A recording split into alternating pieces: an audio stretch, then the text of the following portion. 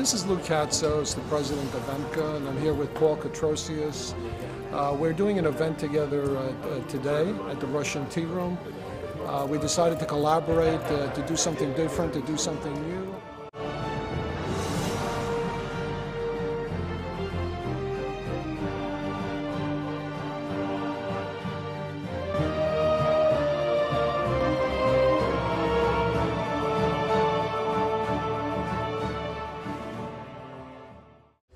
Welcome to Hermes Expo's Taste of Hellas at the Russian Tea Room here in Manhattan, the heart of New York City.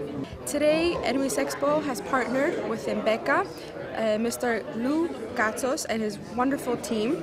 We would like to thank the East Mediterranean Business Culture Alliance for their hard work and welcome us to New York City. I want to thank very much Mr. Lou Katsos and the Eastern Mediterranean Business and Cultural Alliance for taking us under his wings, literally, and say, okay, Paul, let's reintroduce the Hermes Expo to the New York City with a new theme. And the new theme is a panel discussion, an educational panel discussion that gives information about importing, exporting, a taste of Hellas, as he calls it. Yes, I call taste it of a state Hellas. of Greece. No, I like a taste It's of okay. Of. It's the same thing. Yeah, it it's is. The, it is better, Yeah, yeah. and I agree on that. And I thank him very much for um, supporting the Hermes Expo, regrow uh, in New York City and in the United States, and continue to play its role to connect the business people from Greece, from the United States, from the Eastern European countries, and all over the world.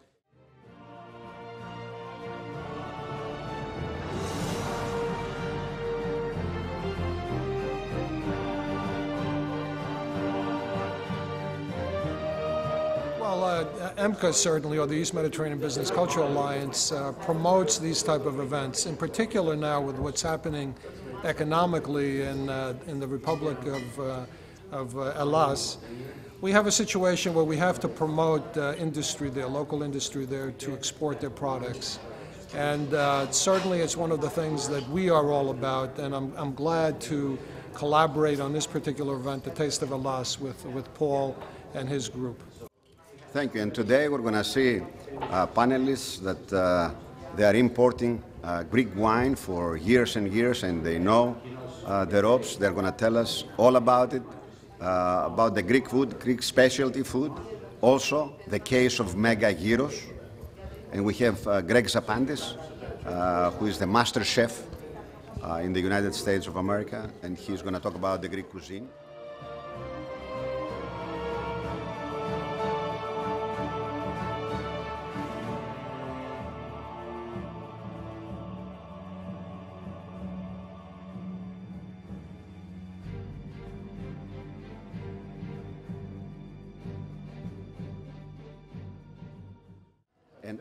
Also, Jay Creutz.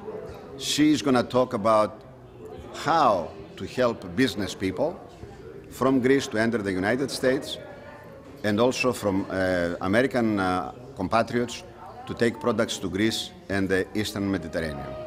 Well, join us for this event and uh, let's have fun and uh, some education and certainly a lot of networking tonight. Thank you again, Mr. Katsos. Thank I you. really appreciate it. Thank you, thank you. Today we are featuring wines from all over Greece, various Greek products from our wonderful vendors that you will see shortly.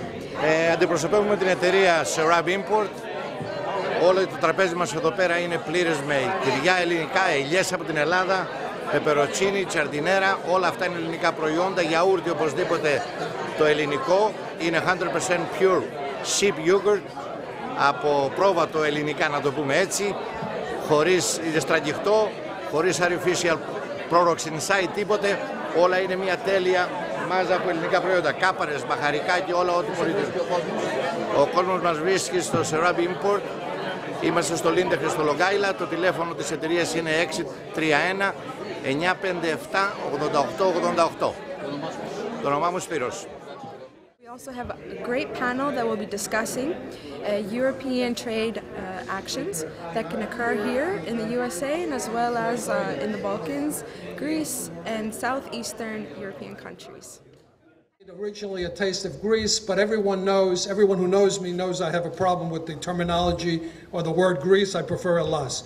So we decided to compromise and call it a taste of Elas, uh, a Mediterranean palate uh, trade po- uh, portal. We have uh, tonight uh, some, uh, some wonderful speakers who will discuss various aspects of the industry. And Paul will, of course, introduce them. Thank you, Mr. President.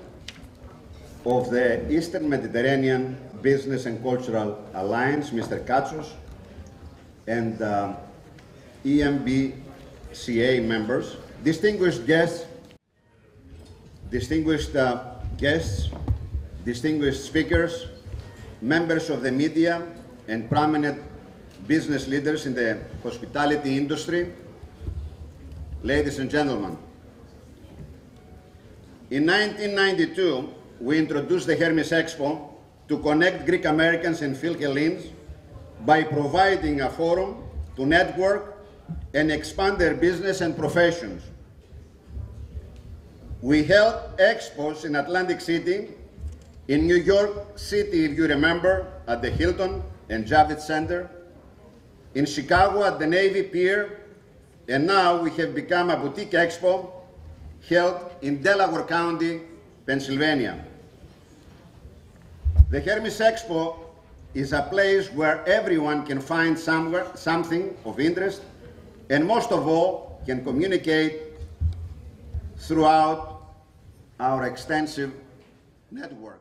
Connect on a personal basis, promoting your product or business.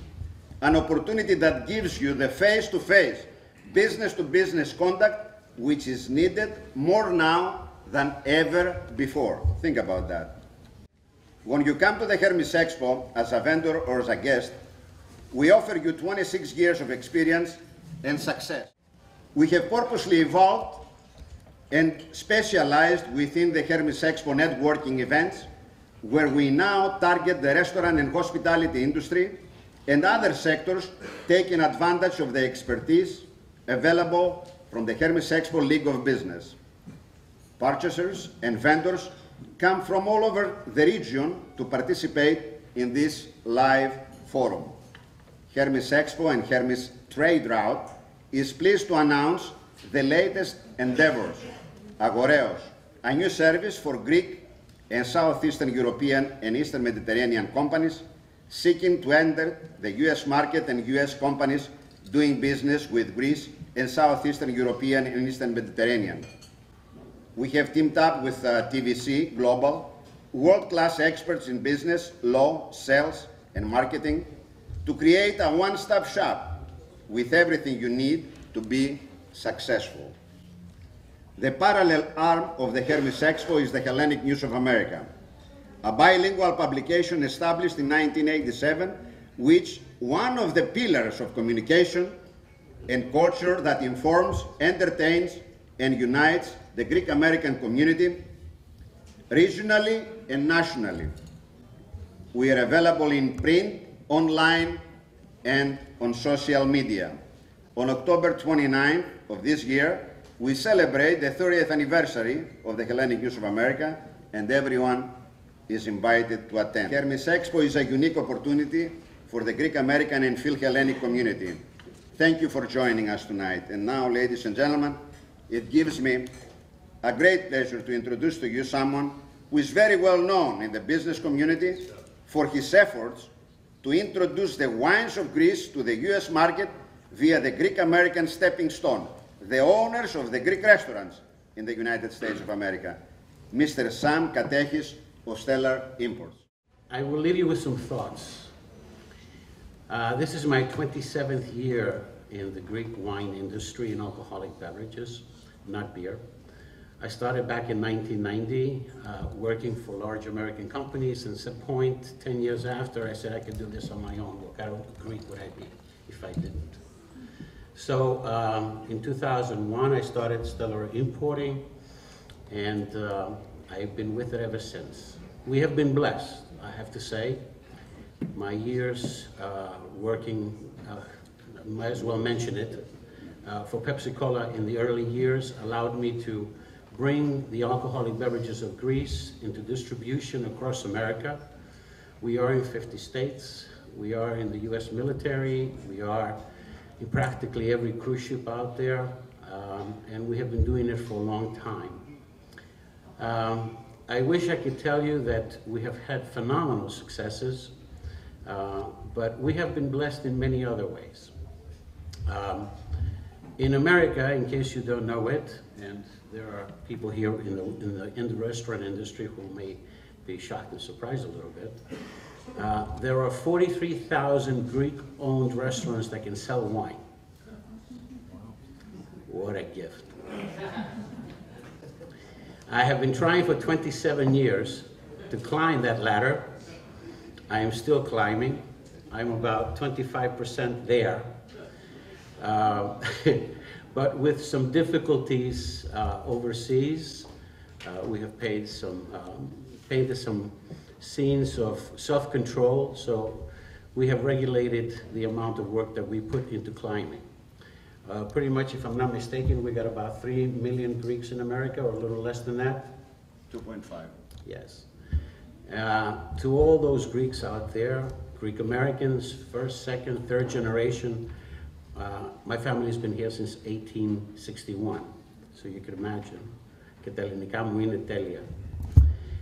Um, I have to say that whatever keeps us together, let it continue amongst the youth of you. Whatever has been placing us into uh, our homes through strength of family and our products, and whatever makes us keep looking for kalamata olives, you know, stuffed grape leaves, and all those things that remind us of our past or our apu or our yaya, uh, let it continue into the future. I am honored, really, to tell you that on a national base, in all 50 states, you will find, uh, since the last 15, I would say the last 15, 16 years, the, the Greek cuisine has become ultimate. It's really up there. The quality in our restaurants is phenomenal, both with indigenous primary products as well as imported from Greece. And more than anything, Paul, I would say it's your re relentless effort, never giving up, never giving in. It's hard. It's hard. It ain't easy. But you know, uh, you know, never raise your hands or say, okay, we'll find a solution or resolution. Fight on. And I think I believe that more in Paul than anything else, and that's why I stuck to it. Who doesn't know Chef Greg Zapantis to my left? He is the master chef and the master of the Greek cuisine in the United States of America. He needs no introduction. Ladies and gentlemen, my friend, Chef Greg Zapantis. Thank you very much, Paul. It's a pleasure me being here tonight, but I see many, many good friends. Very good. Thank you all for coming tonight, and uh, I'm going to say only a few words. You are the ambassadors. We need your help. You will educate much more many people. And you will get the word about Greek cuisine and Greek wines. I will tell you a little bit about me. I was born and raised in Greece, but I was fortunate enough that I came to New York to study. And all of a sudden, instead of studying architecture, I got into cooking. And cooking is a beautiful thing, but you have to love great wine and good food. I have seen Greek cuisine, uh, fine Greek cuisine, in the past uh, 20 years, uh, taking very huge steps in New York. And when we say New York, we're talking about all US. Right? Absolutely. Uh, the first great restaurant that opened up into fine dining was. You, I'm sure you remember that. That was the It was a great restaurant, and up till now, it's still a great restaurant. Now we're lucky enough that we have many great restaurants that serve Greek food. Most of our restaurants serve seafood. Is that something that we chose? Absolutely not. The public chose that for us. Many things are helping us. The olive oil, ingredients. As a chef, I will tell you a secret. I can only be as good as the ingredients that I have in my kitchen. So when you give me a great quality olive oil, when you give me a super fresh fish, when you give me a great bottle of wine, I can put together a dinner, a memorable dinner for my guests to remember. What I see in the future, uh, I see Greek cuisine getting much more popular in the next five years. The market is huge. We're lucky enough that the flavors of our cuisine are very elegant, they're very simple, and they're very light. know better the routes to importing products to the United States market than anyone else. They import all the Greek specialty foods. They have a factory as well, and they are able to do private labels. Mr. Bardis represents them here tonight. Thank you very much for bringing all the um, delicacies from uh, Sirob Thank you. imports. Okay, we appreciate that. And our last speaker, ladies and gentlemen, our next panelist is uh, Jay Creutz. She is an experienced business executive with over 30 years of experience in marketing, sales management, deal structuring, financing, intellectual property, tax and legal issues confronting companies that work internationally. She has a unique insight into the challenges of the Greek US business, having lived and worked in Greece for almost 10 years before relocating her company to New York in 2012. Ladies and gentlemen, please welcome Jay Creutz. and thank all of you for coming. This is a, a great opportunity. I hope everyone has been enjoying the, uh, the wine and the other delicacies uh, that were on offer this evening. Uh, now, my perspective is, is a bit different because uh, I worked with a lot of companies, either Greek companies trying to come to the States or Americans who are trying to do business with Greece. Um, what we have here are some examples of just people who've been really successful at either importing from Greece or, uh, unfortunately, Mr. Stergiou couldn't come, but he's an example of a Greek company who's come very successfully into the American market. Um, I've worked with companies in hospitality, some in food, but really everything, technology, software. And it turns out that the, the challenges are really exactly the same, whether you're coming from Greece or any other country to the States. Uh, there are certain challenges you face because the U.S. is, it's a huge market and it's quite different, it's quite complicated. Um, but in the same way, an American, even a Greek American, going to Greece to do business discovers that things there are done quite differently than we do them here.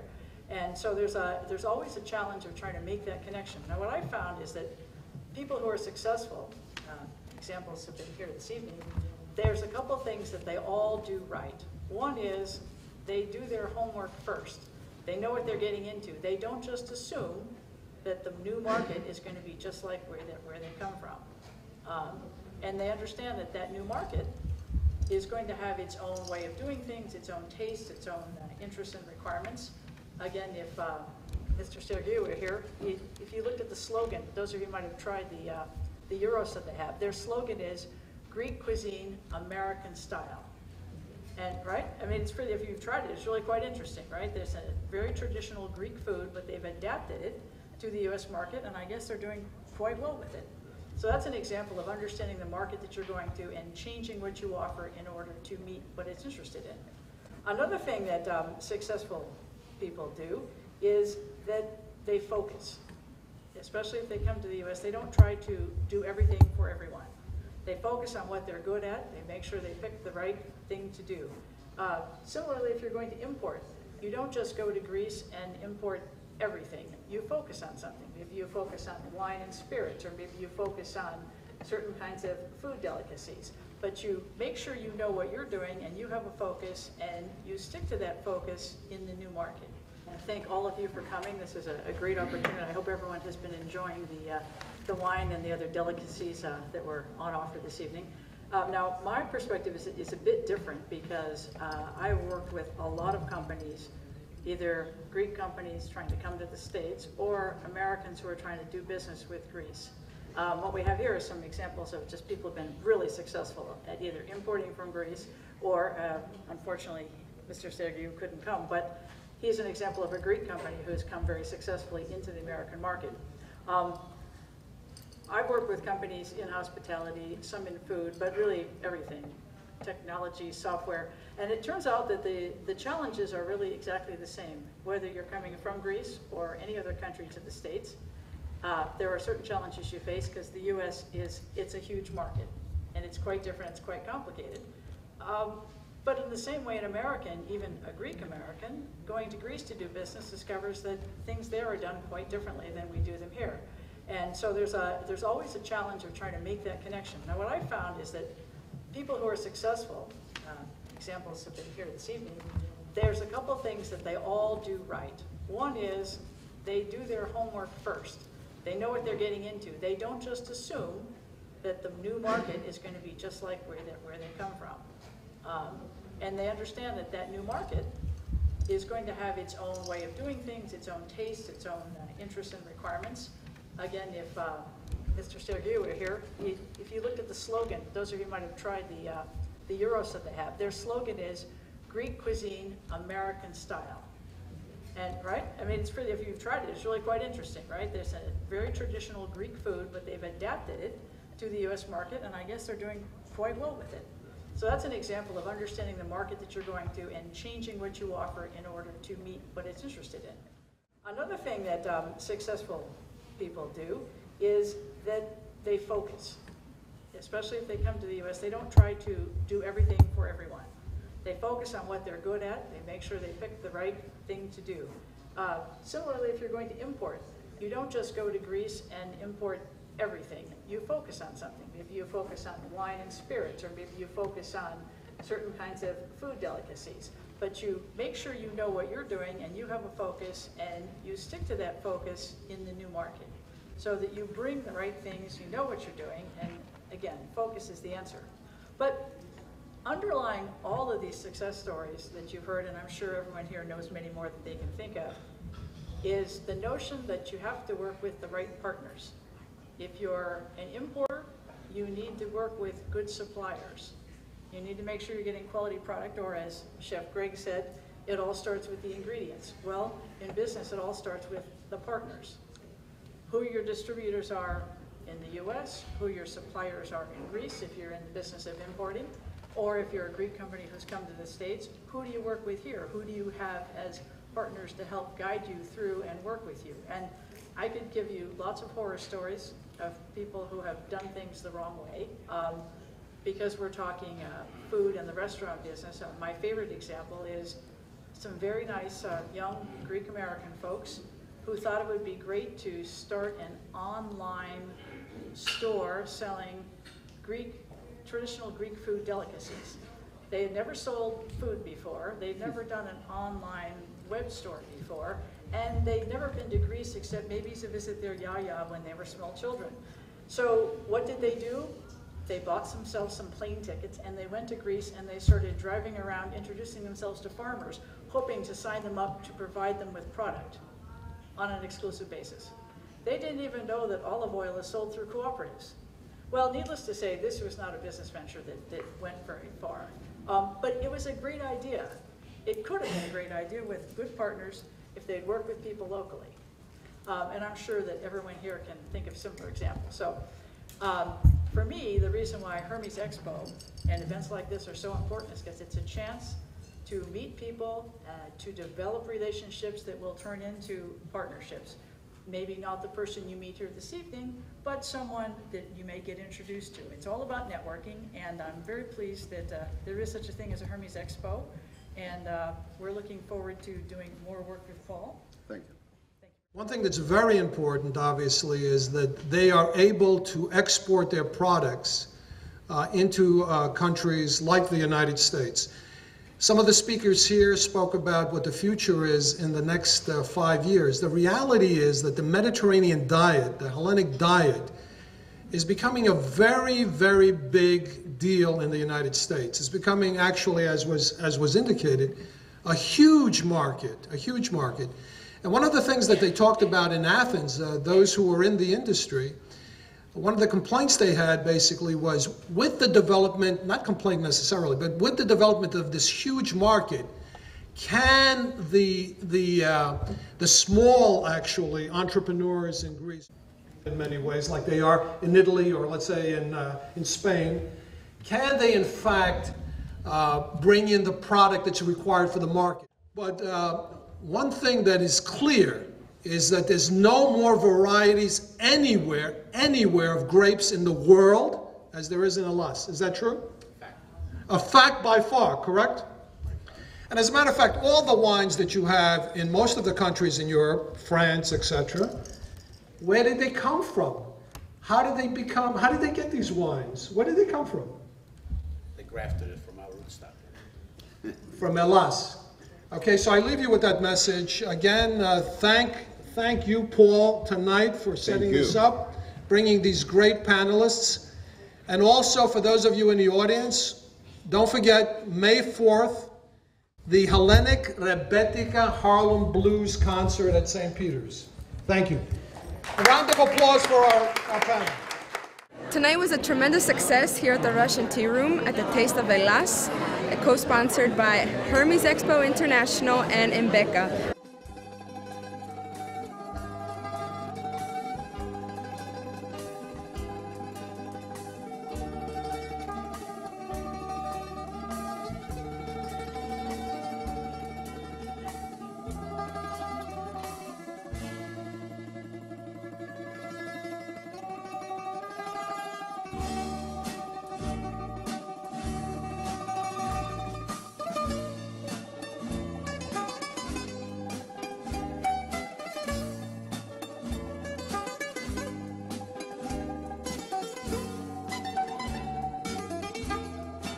Thank you again, Mr. Katsos. Thank I you. really appreciate it. Thank you. Once again, we would th- like to thank our media sponsors, Michalis Yokomelos from MGTV USA, and of course the Hellenic News of America. Thank you very much.